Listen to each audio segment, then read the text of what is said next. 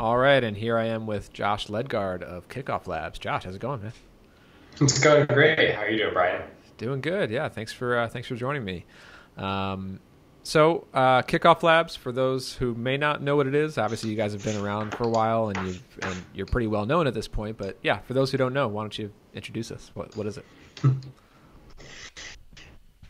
Yeah, Kickoff Labs is uh, at its root uh, a system for doing uh, lead capture and lead generation. So uh, we have a foundation platform of uh, landing pages, opt-in forms you can embed on your website, um, and most importantly, um, a way to make that process more engaging with the people you're doing leads with. So um, we can make it uh, really simple to run a viral contest, for example, where somebody signs up and you give them credits for referring a friend, they either get you know a higher chance of winning whatever contest you're running, or move up in the wait list, or if you just want to give out something for they get their fifth referral, we make it really easy. Like somebody gets you your fifth extra referral onto your onto your uh, into, fifth extra lead into your service, then you can send them an email and congratulate them and um, do whatever gift prize distribution you like at uh, at that point. So uh, you know, really simply, maybe viral lead generation is a good way to yeah. good way to put it. Um, that's uh,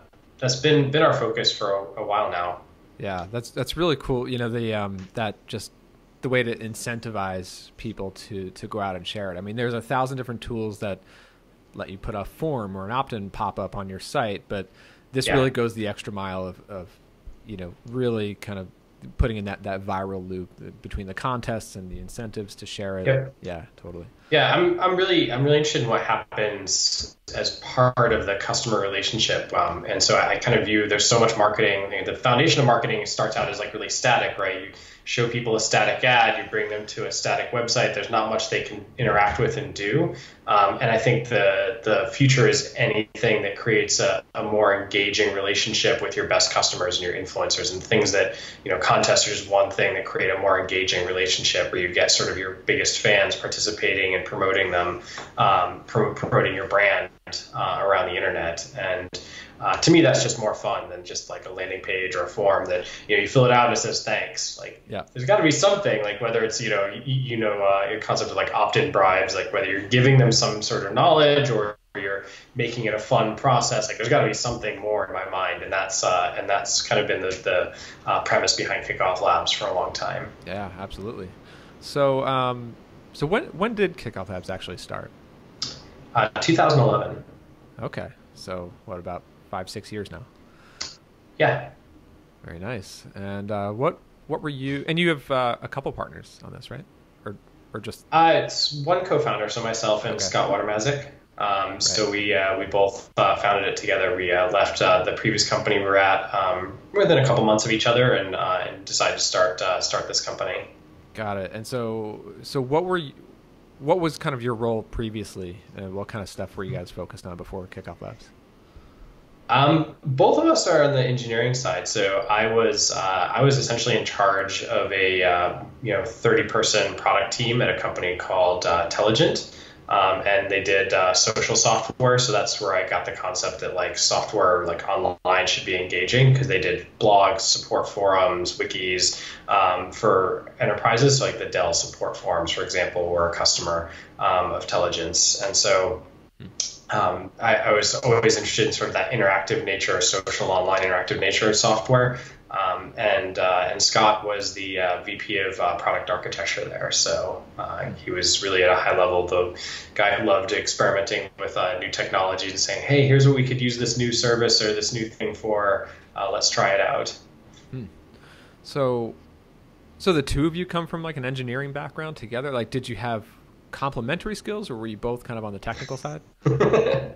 um, Scott is more technical than I am. I'd say I'm definitely the, the person who picks up like uh, looking at like the design, looking at the marketing, looking yeah. at support, um, and um, Scott this morning said to me, he says, like, after six years, you still don't know enough Rails. It scares me. Right. I'm running this software. I was like, well, that's not all I do. So yeah. um, I'd be scared too if that was my full time job. Very cool. Um, so when you guys kind of you know went, went out uh, on on your own and started this, like what actually led to um, the idea to start this as, as like were you kicking around different ideas, or, or was Kickoff Labs the original idea? Uh, we had a lot of ideas. I mean, we uh, we literally we went through a process. We uh, we wrote down, kind of brainstormed, and came up with maybe 35, 40 kind of ideas described in like a paragraph or two each, um, and just literally just wrote them all down, like a, not just a one sentence description, but maybe you know the really quick, you know, 30 second elevator pitch uh, for each of the ideas uh, behind beyond the one sentence description. Um, we had ideas that ranged from uh, for, from like a you know a blog that focused on craft beer, all you know all the way through these really high level like enterprise type support tools and stuff like that. You know that was uh, different than what we'd done at uh, Intelligent before, and so you know there was a pretty wide range of ideas, and uh, we kind of took a first pass and said, you know, we threw out about half of them, said like, well, we really don't have any background in any of these, you know, um, or you know, I like to drink beer. I don't know that I want to write about yeah. every day. yeah, exactly. Like I really don't know if like you know we really have the background for pulling that off, um, right. and uh, kind of match things that uh, align closer to our skill sets first, um, and then from that half list of maybe like 15 um, kind of started uh, started expanding, talking them through, and ultimately came down to like five ideas um, that we had, and really started writing. We wrote out like a probably about four to six page business plans for each of those five ideas of sort of what you know the what the the launch and the market would look like and what our opportunity was and what kind of products in that space we could you know stagger and launch um, mm. and it just it kind of hit us as you know it's hitting a lot of people back then that like boy you know you can make the numbers say anything. Like if you get you know 2% of a you know 1 billion dollar market like you're rich. Like it just sure. it all looks good and the numbers you can massage a business plan and you can make it look really great and they all look really great and you know probably any of them could have been made um, successful in the end. I think that's uh, that was probably probably would have been true. Uh, but what we realized is like, well, what matters is can we pull in an audience and get people interested in purchasing the product?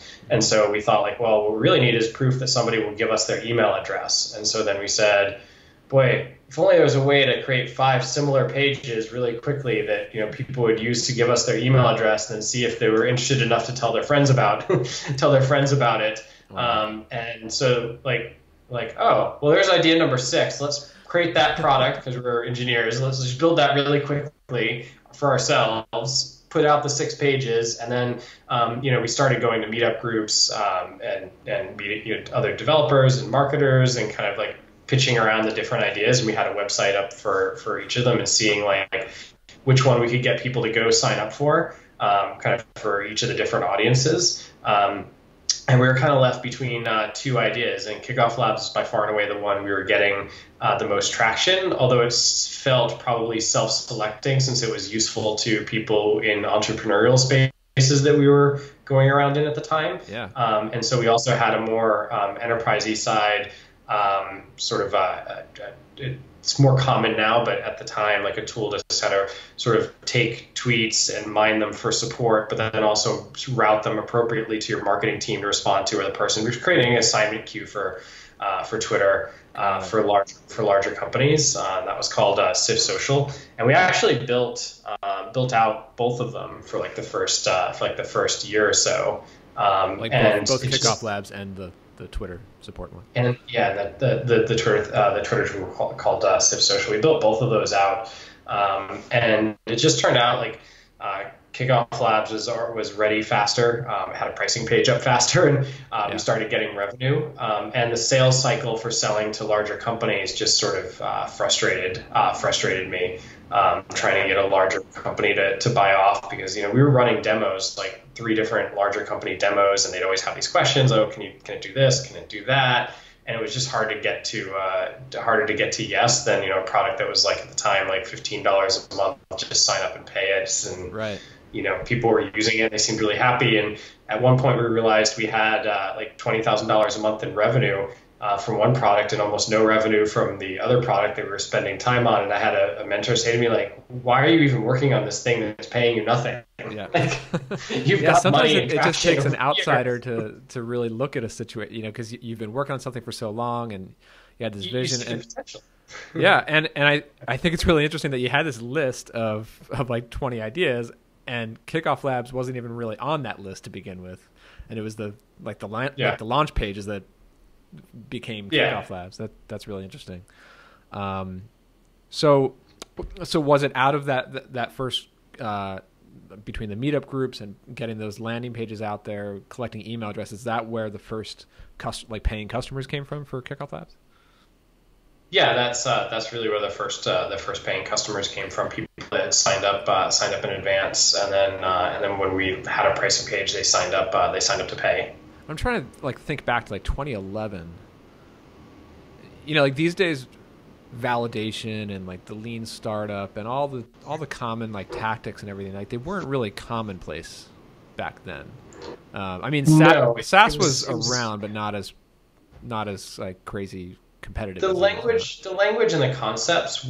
I mean, people were starting to understand because, like I said, you know, I was going to startup meetups around the Seattle area, and I was going to uh, to, to events, and people were starting to get the concepts, but we're very even that community was still very much like a very build first, ask questions later sort of mentality going through startups and um, these large sort of you know product endeavors that were just you know, you know would, I'd see them because I'd see people putting a lot of effort into them and just launch and fail because they had no audience Yeah, um, and uh, and people not realizing like that's the hardest thing. yeah, and I feel like Um, Kickoff Labs came about right around that time when people were just getting around to that idea like oh you don't build in stealth you have to get Yep. it out there ahead of your launch and start building Yeah. an early access list um, Yeah, I, feel like and, that was really and now we're starting to see that idea tr- trickle into both larger companies and also uh, as they larger companies try and get more entrepreneurial and, and create some smaller teams to create some like additional products or a secondary product. And we're starting to see it in even the small businesses are starting to come around to like wow i should like you know test market this new idea for my for my service or my business before i uh, before i do or i should you know run a contest to get you know do this engaged marketing. Like that idea is just now starting to get uh, more i'd say mainstream in the in the you know small business space. Once you get out of your bubble of like people who work in software and saas services like you'll see those ideas percolating into the mainstream more more and more nowadays. Got it yeah. Um, so early on I mean, you guys are coming from from kind of a, an engineering technical background.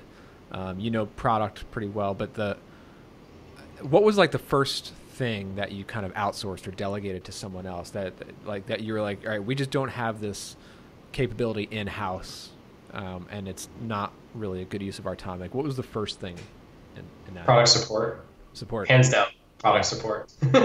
Um, not that we couldn't be good at it but a it's it's disruptive right? Because you want to get back to customers as quickly as possible if somebody writes in especially you know in the in the first uh, you know first six months you don't have that many people like being successful with the product or trying to use it.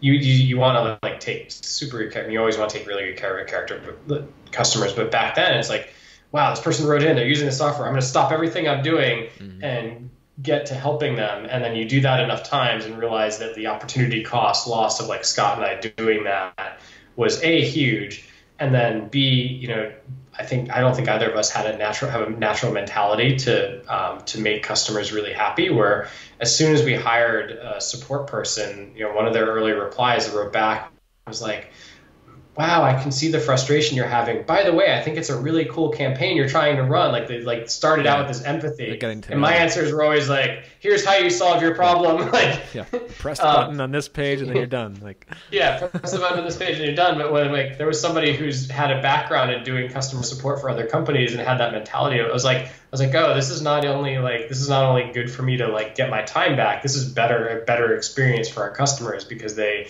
you know they want to be heard like even if their problem's solved they want to hear that like you know they want somebody to understand like oh this was really frustrating for them right. uh, you know, and so um, that wasn't a skill set that, uh, that Scott and I had uh, in spades, and so outsourcing that first was uh, was a really smart idea because it was a very kind of disruptive task Yeah. otherwise, and because I think customers got a better experience from the uh, from the outsource of it. Yeah, absolutely.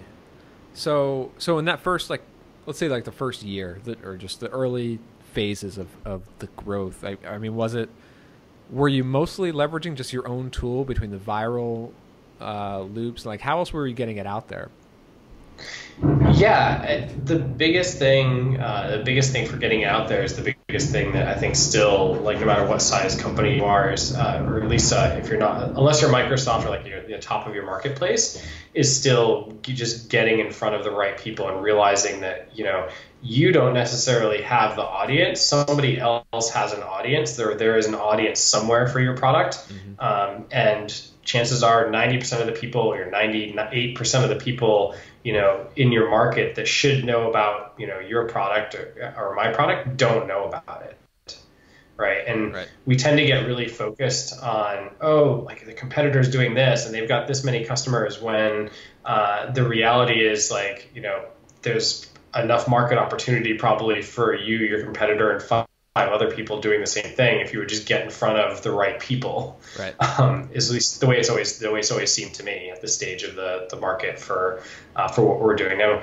that's not necessarily the case if you're Apple and Samsung. Sure. Um, but that's the case if you're you know a small you know a small to medium sized company. So like early on, how how did you do that? Like what was your first thing that that really uh, boosted that that exposure? Um, just like starting from a like the concept of concentric circles. So like you know the circle of people that I knew about the product. Like I think our first paying customer was somebody that had worked for me before. Right. Um, and then uh, and then like okay, this the next level circle. Like can you tell your friends like that sort of viral like uh, that referrals uh, thing from the people that had that early success. Um, so there's two two ways to approach that. The one way that we did was every one of the first you know thousand people that signed up for the product i would just talk to um, and say you know here's here's what you know here's what i think about you know your campaign. Here's some personalized feedback. You know if you thought this was useful tell a friend. I would just literally tell them like please yeah. tell a friend. Just like it's almost like a manual version of your actual yeah, product it's a, it's a manual version of the actual of the actual product. Like because yeah. we've had in the dashboard of course like a link to like tell your friend about us but they would actually do it if i told them to Mm-hmm. Um, and so that became the uh, that became the, the biggest uh, the biggest thing. Um, and then um, then other than that, finding people uh, in local like local groups. So my circle locally in Seattle and going to meetups, going to entrepreneurial groups, doing pitch competitions. Um, I was uh, I found found a role as a, judge, like judging ideas, because I was like, listen, I've seen a thousand people sign up and pitch their idea on my product. Like, yeah, here's I can offer feedback, and so I've judged uh, a lot of you know kind of local startup competitions um, to get the word out. Um, sponsored some of the, the local the local meetups, um, as well as just online like blogs and content, like people that have had interesting interesting blogs just telling them the story and saying hey here's uh, here's how uh, here's how we built this. Here's what we think works in this space. You know i think your audience would be interested in this. And they'd rework or redo the content and just put it in front of their audience. And then honestly going to uh, neutral places like uh, Quora, like the question and answer groups on Quora, uh, was a big revenue thing for us early on. Of you know, people literally ask the question, is there a solution to easily put up five landing pages to test an idea? Like that was literally questions on Quora. And like, yeah, and let me give you some best practices along with that in the answer, and let me post about my product. And yeah, I'm the owner, but like you can check it out, check it out. Um, I would go there and answer every question I found yeah. um, to get in front of people, and then I would go and uh, take the ones, the answers that were popular, and I would add them to our blog and have official answers um, and then go, you know, kind of cycle back to Quora and answer the next one with an even better answer that I'd uh, that I that I'd gone uh, that it, that I'd had before. Yeah. Um, and then also, uh, uh, I said earlier, like paying attention to competitors is, uh, is, is maybe not the best thing to do, but um, people on Twitter would post like, hey, you know, using Unbounce, but it's not great for startups, or using this this product, but it's not a great for con- as great for contests I would just look for those tweets and reply to them and say, hey, check check our product out um, on Twitter. So you just kind of do this like listening in these neutral platforms and can you be helpful and instructive towards your own solution realizing that like i could shout all day long like on i could have just shouted all day long if i didn't do any promotion of a blog post on our own blog it wouldn't have gotten the reach that you know just even replying to somebody's tweet that just asked a one-off tweet about is there a contest platform that does this, this, and this, yeah. and just replying to that um, gets uh, got more play early on. And people are out there actively asking questions and like raising their hands, saying like, "I have this need." Uh, yeah. Whether they're on Quora, Twitter, at a local meetup group, like those people are out there. You just have to kind of identify where where they're asking those questions, which communities they're in, and get in front Yeah. of and answer them. And I talk to I talk to customers all the time that uh, that tell me, like, man, I wish I'd found your tool like six months ago. I was trying to run this contest, and it, you know, I was trying to do it by hand, and it didn't quite work. And it's and uh, and and they just did hadn't found the right place to ask the question, or I wasn't listening in the right places. Um, so that's what led, leads me to my thing, led me back to my thing about like market share. Like, there's all these people who just need to know about your service because it's perfect for what they need, but they don't, they haven't heard about you yet. Yep. So in terms of uh, content, you, you mentioned that like you, you started with doing some some Quora stuff and then taking those questions and then answering them on the blog. Um, how how early on did you start thinking about content on your site, like that assets that that you own on your and, and were you executing all that yourself, like doing the writing yourself? Yeah, so early on, I was doing all the writing myself, and we were uh, posting a lot of stuff to the to the to the blog. Um, but I think it was important to realize I think we were posting to the blog primarily at that point for the purposes of like, you know, can we get some topics to help us rank in SEO and boost the rank of our site by having a lot more pages? So it was a more old school approach. Um, or maybe I was I was lowering my expectations about the blog. Like this is what like this is really helpful for um, in, in terms of in terms of having it because I'd never viewed like I think a lot of customers look at a blog, especially like new and small businesses look at a blog and say, "This is how we get our, the word out about our thing." And the answer is the blog is not a great place to get a word out because again, you you have a megaphone, you have your own little audience, but your goal is to grow that audience, not just preach to that one little audience constantly. Yep. Um, and uh, and it grows, you know, very slowly. If, if a blog is your only growth tool, it grows kind of like a little bit slowly at first. It takes a long time to build up momentum behind a blog, and most people don't realize that. Yeah. You know, there's fast ways for that initial growth, but um, as a long-term investment, the content uh, that we have on a blog just pays, you know, constant dividends. So having it there is a good thing, but um, people make the mistake of thinking, oh, if I just publish 10 blog articles, I'll get 100 customers. Right. And it doesn't work that way. Yeah, I think You, you will, but it'll take the next few years. yeah, yeah, that, and I, I think it's equally about new acquisition as it is about just nurturing yeah. your exist your your your return cut uh, audience. You know, your return Mm-hmm. visitors, um, getting them into your emails because, again, like there, it's that you know people will discover you today, but they may not have the need today. But Yeah. if, if they can get onto your email list and you have some some content to nurture them and bring them back, stay and stay back in their inbox, that, that really Yeah. helps. Um, Because that, that I mean, that, and that's definitely true. I mean, that's I mean, obviously, obviously you know, I'm, I'm preaching to the choir, but like having having a larger audience to email to is great because then when we do product announcements, you know, not just blog posts, when we announce stuff to that email list, like, hey, we now have this functionality available for bigger functionality. We always get a reply like, oh, I'm, you know, this is exactly what I needed. I'm going to upgrade today, and you see like, you know, a few minutes later they go ahead and they upgrade, right? But they were sitting on that list for like, you know, six months Right. um, before they uh, before they decide to upgrade. So you were doing uh, blog content yourself er- early on, kind of focused on like SEO keywords and and, and kind of evolving it over time. I mean, like when did you uh, decide that like the blog is actually worth continuing to put that time investment in, and and later on like really like growing it and doubling down on it?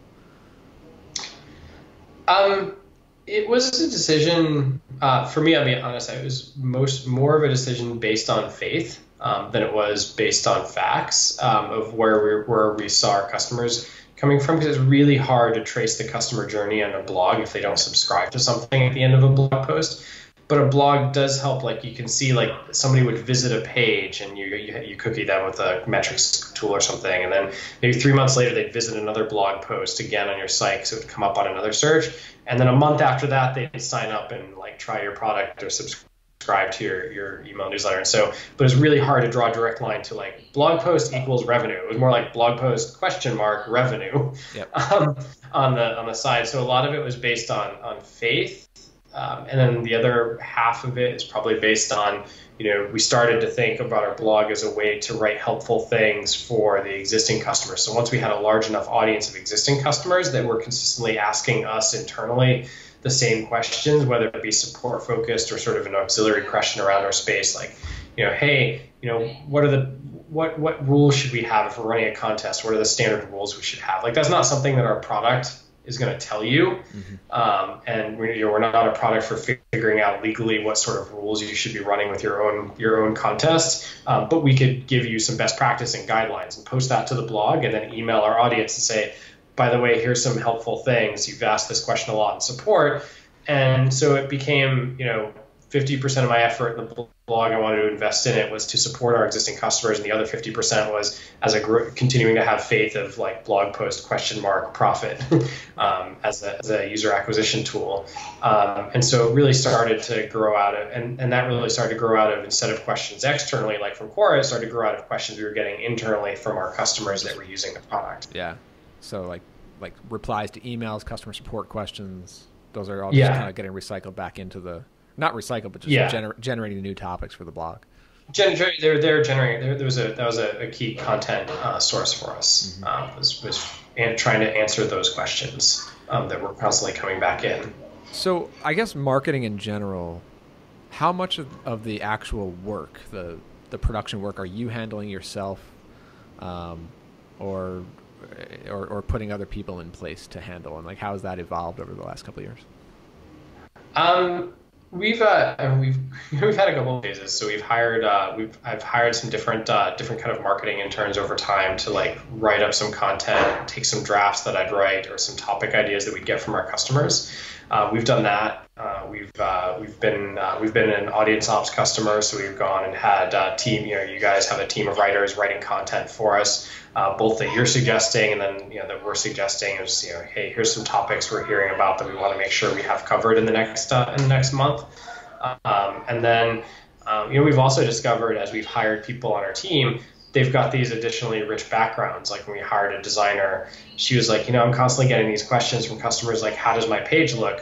You know, can I write a series of articles and a checklist that's like, here's how to design the best looking landing page for X? Uh, and I was like, yeah, sure, absolutely. Like as a bonus goal for what you're doing, like you want product design and like landing page template design and stuff. But yeah, let's take that since you're getting the question often enough from customers, and let's put that into a really great downloadable checklist for our customers, so that you know they can start answering their own question like is this design work and like they can non-designers can go through the checklist and be like oh i probably shouldn't have five fonts on a page right yeah. it says if you're not a designer stick to one or two fonts on a page you don't need five yeah. Um, yeah, like because you'd be amazed what people who are not designers will do with uh, with design um, when they have the pro- when they have tools to let them be dangerous. yeah, exactly. It's like these design tools are just getting so easy to use, but that's that's kind of dangerous because at the end of the day, you know, yeah, it's yeah it's like the 90s like when everybody started using powerpoint it's like powerpoint made presentations super easy and like but all of a sudden at the same time like they became super ugly and super horrible to look at and sit through because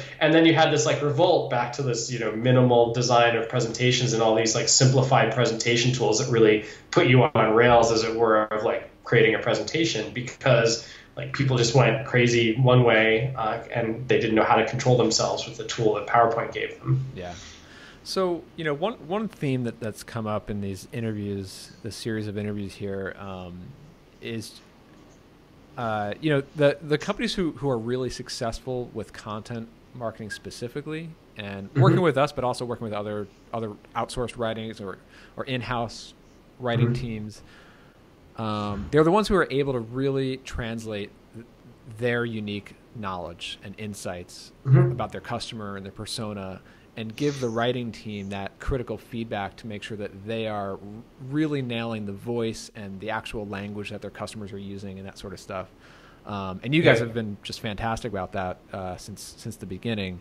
Um, how, like, I guess talk to me a, a, bit about that. Like, how how do you ensure that first you know exactly who your customer is and and that persona. And then second of all like when you stop writing the blog content yourself as the founder mm-hmm. how do you get somebody else to write as good if not better content? Um yeah i mean those are those are excellent questions. And i don't have a really simple answer. Like if you do this it works. Um, I worked at Microsoft for eight years, and I was fortunate enough to work with some really uh, some really great folks who were vice presidents even at the time, and now senior vice presidents at Microsoft. And I remember the one theme, like in one meeting where um, he was encouraging everybody to do customer support, customer support, and and the um, product lead, one of the product leads said, well, how are we going to know like what features resonate with people, and how do we consistently make sure we're executing on the right set of features for the product for people?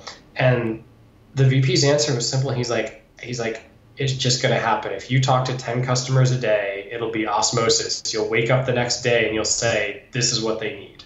Right. Um, they're not going to tell you directly, but if you talk to enough customers, you will have the insight into what makes the feature work really well or what specific features they need. Um, and there was a lot of skepticism in the room about that. Um, but I think it's absolutely true. I think yeah. Um, it's human. So right? it's the, like you, you're talking to people, you naturally want to help people, and the more you know someone, you know. Yeah, and the more you know your customer set, um, the more you can target to them and, and create a voice for them. And so, what I've tried, what we've tried to do at Kickoff Labs is this culture that, like, yes, we have a support person, um, but I still answer a lot of support um, questions, and everybody who works on the team has goals of participating in and product support, doing customer interviews, working with customers. So as part of a goal, like you could be a developer at Kickoff Labs, um, you're going to have goals to answer customer support questions and to get engaged, even if the question could have been answered without you. Mm-hmm. I want you having that osmosis, saying like, what are these real challenges that people are having, and that's invaluable because then people who work on our work on our um, product, both they have feature feedback and like, hey, you know, I just talked to three customers who also had this problem, so I think this would be a great way to simplify and make this feature better. Uh, but then they also have content ideas like, hey, you know, like we should have something on the blog that talks about this because we're never going to do it in the product, but like people have this question all the time. Yep. Um, and like, great, now you own it. um, and uh, and so uh, and, and I'm also you know I, I, try to hire people that are just generally good communicators. Um, partially, primarily because we're all a remote company and a remote team, and so if you don't communicate well with others uh, via chat, via email, online, you're not a good communicator in general. So, combination of encouraging, strong encouraging a culture where people are constantly talking to the customers that they're helping, um, and then also um, you know making sure you have a people in a culture that values that communication, um, you know, to each other, and then back outwards of like they want to help the customer because um, they have that communication skill and that desire at least to have the empathy. Totally, I, I couldn't uh, I couldn't agree more about the communication piece. No matter what the role is, whether they're a developer, a project manager, a, a customer support, like there's yeah. always going to be like a top five percent that meet the the skill qualifications for the role, and then out yep. of that, it's like whoever's the best communicator answers all the questions, asks asks all the right questions. Yeah, yeah, exactly. And those people tend to, and so what I found is like you have the com- that combination of people, and they tend to be able to carry forward, you know, voice because they're listening well enough to the customers. They have a voice that they they understand how to reflect back to the customer in their own words what the customer wants to hear. Yeah, totally. So, uh, so as we, you know, we start to wrap up here. Um, what? So we're here. We are in like the middle of 2017, right? So, what's yeah. what's kind of coming up in terms of like what are you trying to do in terms of optimization at this point um, to grow on on a marketing side and like kind of what what's on the on the horizon there? um, so we're trying to. Uh, we've got such a wealth of content now since we've been around for six years. Um, we're really trying to optimize um, you know, the repurposing of content, the discovery of content um, for customers who come into us new. Um, because you know you get six years of the same questions, we realize that like okay, we really have to make sure that people are walking a path and finding the stuff that's useful to them at the right time. Um, so recently we went through and, and re-optimized sort of our, our drip campaigns when somebody gets onto our email list to segment them into what type of customer they are, um, so I guess the first thing is like optimizing by segmentation is something that's now much bigger for us. So we can look at each segment, target them specifically. And we've asked for a long time when you sign up for a product, do you work in marketing for existing company trying to run a contest? Are you a startup trying to launch? Or are you an agency doing this for other people? And the content for those three groups is similar but very different. Yep. They all have at a root they all have the same need. They want to they want to generate leads, but the way that they're going about it is very different and the way that they talk about it is very different. And so um, we're trying to optimize uh, to smaller and smaller segments of our audience. So both along, like when they answer that basic question, is one path, and then the other optimization is then um, this isn't talking about outward marketing. This is like the people who find us, um, but it's a big part of marketing um, and sign up for a free trial. And then uh, the people who uh, once they sign they once they sign up and they're on one of those segments, um, you know, um, how do we take sort of the technology we have for their own product again and use it to score those leads and say, you know, boy, based on the actions that they're taking within our product, like these people are really valuable leads. Should we reach out to them more personally? Um, and kind of taking what we did early on of talking very individually and reaching out and giving them feedback whether they asked for it or not on their campaigns to everybody because we couldn't do that to everybody now. Are there 20 people a week we should be doing it with? So taking that concept of you know do stuff that doesn't scale but then instead of going straight to like scale everything to this mass market there's this middle ground um, for medium-sized companies of can you scale um, can you scale can you start like doing things that scale a little bit. Yeah, or, like you, you know, do some automated, like some automated lead scoring and some like customer path history, and then, exactly. and then just do manual outreach to them. And then just do manual outreach. So it's like it's like we're automating, but we're not doing that on a massive scale where it's all computer generated. And then we still just can reach out personally. Where you know still taking advantage of the fact that we're not a large company and we can still be really nimble about that. Um, uh, but reaching out, and then in terms of uh, in terms of uh, like external in terms of like external marketing um, you know we're still publishing we're still publishing to the to the blog and looking for topics and you know finding the right finding the right things and then trying to promote those topics. Um, but we're also working on um, can we get into uh, new areas like kind of the same kind of can we scale areas like Quora like looking at things are the most popular questions can we scale areas like Facebook? Like, where are the most popular groups on Facebook talking about marketing and should we be engaged in answering questions there? Like, where and sort of scaling up what worked initially and then doing that on sort of a more automated, higher higher level than we were. So, nice. half automation, half uh, half personally going out and doing it, and then. Um, you know, we're we always experiment with ads. We've always played with uh, with ads, but it's I, I believe a presentation I've seen uh, several times now. It says like uh, it says like it's you're in trouble if ads represent more than 10% of your revenue source because the the rules of the ads game can change like this. A competitor can raise the bid price on you.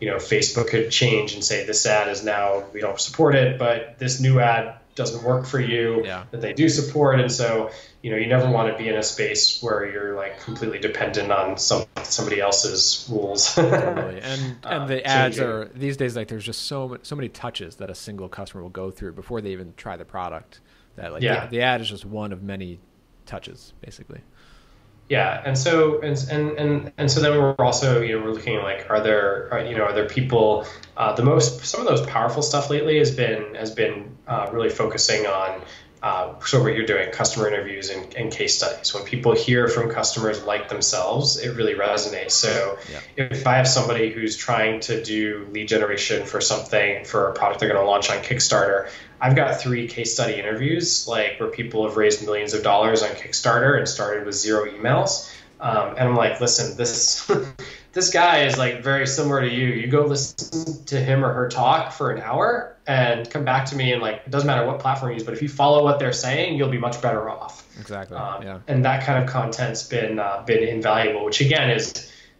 segmenting, creating something that's more engaging than standard marketing, and getting it to the right pe- person at the right time. Awesome.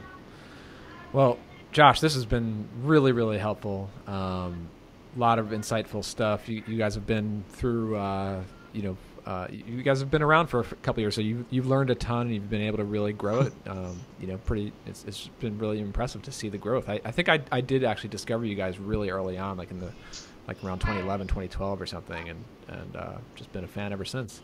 Um, so uh, so yeah, thanks for doing this. Yeah, thanks for thanks for having me. Of course, it's uh, kickofflabs.com. Anywhere else people can connect with you?